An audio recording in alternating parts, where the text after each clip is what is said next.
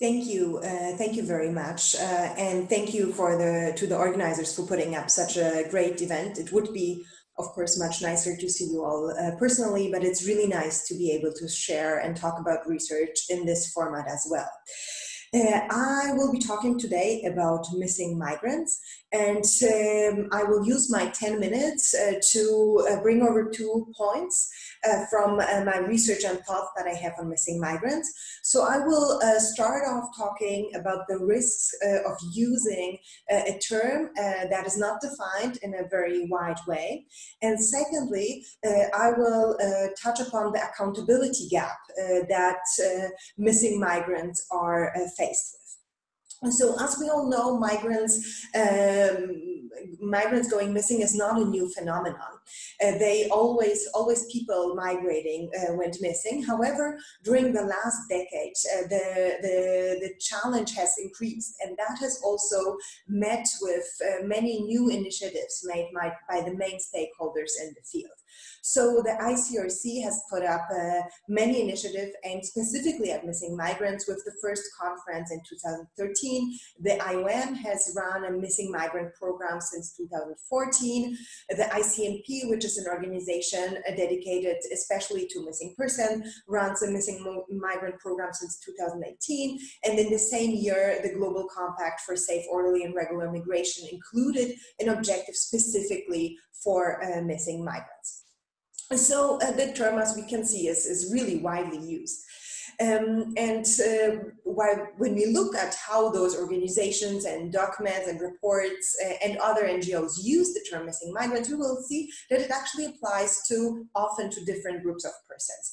And that is the first risk uh, I will talk about too uh, that I wanted uh, to, uh, to raise. So um, using this term can lead to the misconception that the same subject is debated, while the difference between the programs and documents for uh, is, is, is really um, enormous. Uh, for example, um, the IOM Missing Migrant Program is a program that is aimed at tracking fatalities. So it's only at those that have died or disappeared by crossing an international border, which is an additional uh, limitation, as we uh, as we know. And secondly, there is uh, there are some very important exceptions. So no deaths or disappearances that happen in refugee housing or centers are included in the count, and nor are deaths or disappearances after deportations. And so the numbers included in the IOM programs will be uh, very different from numbers uh, given by other actors who include a bigger number of, of missing migrants. At the same time, it also has very practical uh, implications. Because if we consider as missing migrants those, has, those that have died on the ways, then the way that missing migrants will be addressed is by exhumations, identifications, DNA programs, or communicating to families about fatalities. And those um, ways uh, to address missing migrants will not be relevant for missing migrants that are in immigration uh, detention centers and are not able to communicate with their families or are missing for other reasons. Uh, the second uh, risks that um, I would argue that using this term so wide brings is that it encompasses person that are, persons that are actually um, protected, uh, additionally protected by international law. And by using the wider term of to, with regards to all of them, it can blur the obligations that uh, state parties have uh, in uh, two particular persons. And that brings me to, to the second point that I wanted to raise today. So, to the accountability gap with regard to searching for missing migrants and to uh, communicating with their families around this. Migrants uh, go missing for various different ways. Most of the time, we've heard about migrants that uh, went missing due to drownings on sea. Uh, some go missing uh, due to armed conflict. Uh, some have forcibly disappeared. Uh, some are unable to establish contact with families, and here the inability can also be caused by very different, uh, various different reasons. So they can be in a detention center where communication is not made possible, or they can be just technical impossibilities to get in touch with their families due to, again, different reasons.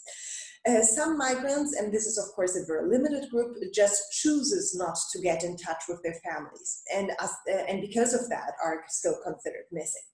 So the circumstances uh, why uh, particular migrants become missing um, trigger different legal frameworks, and as such, uh, different. Um, um, uh, laws have been raised by academics, researchers, and also by the stakeholders that I've mentioned before. But very often IHL, human rights law, of course, law of the sea, anti-smuggling regulations, uh, currently often positive obligations in various different contexts. Most of the time, however, those consider um, um, a migrant's death and re, uh, regulating uh, migration.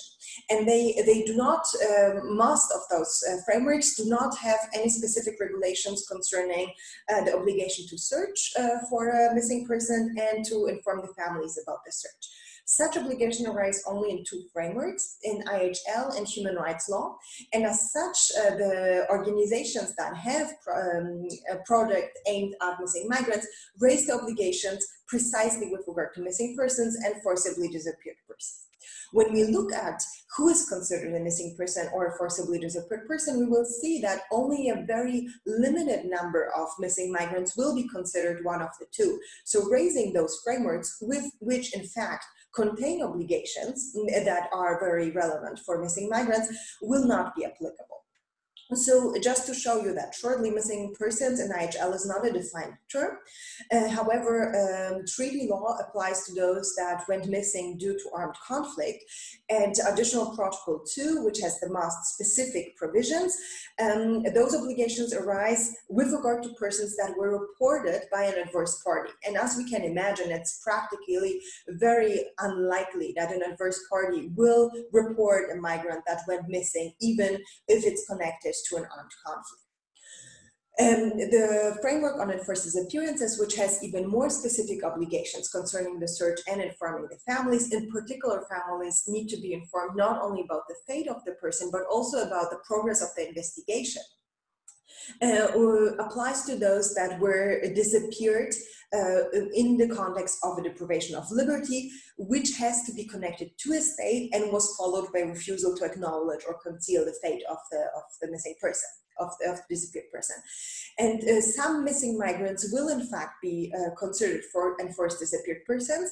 And uh, the, the framework that was is established and is enforced applies also to after you know, the, the person was uh, released. So uh, as long as all the circumstances of the disappearance were not uh, revealed, um, those provisions can be raised. And they will apply, for example, to those missing migrants or those migrants that at some point were victims of secret detention, for example, secret immigration detention. Um, and um, as you can see, my argument is that uh, under state uh, that state obligation under international law arises depending on the very circumstances uh, of the missing, and not on being a missing migrant per se. And treating them as one group can blur those obligations. And let me use my last minute or last one and a half minute uh, to show that on the basis of uh, one example. Um, so in the Global Compact for Safe, Orderly and Regular Migration, there's one objective aimed specifically at missing persons. It's uh, called Saving Lives and Establish Coordinating International Effort on Missing Persons, uh, Missing Migrants. And it starts, the paragraph starts with two sentences. In the first sentence, the states commit to saving life and preventing migrant death, and here I quote, in accordance with international law. And then the second sentence starts, we further commit uh, to identify missing and dead and to facilitate communication with uh, families. So this implies that there is an uh, obligation under international law to uh, save lives and prevent migrant death and uh, just a further commitment, not in accordance with international law, to identify and to facilitate communication with families which uh, I would argue is not uh, is not the fact because if a migrant is a forcibly disappeared person, then there is a clear international obligation both with regard to the identification and to the facilitating information to the families. And it's not a further commitment that states can or um, cannot do. And the same is true for persons that went missing due to an armed conflict. Here again, the states are responsible to communicate to the families. And so, uh, and uh, from uh, from the other hand, the obligation to um, save lives has also been tackled by various researchers, and there is a valid argument that there is a policy fully compliant with international law can tolerate large-scale migrant death at sea, and as such, those two sentences are, in my opinion, blurring can blur the obligations of state that depend on the circumstances of the missing more than on missing migrants per se. Thank you.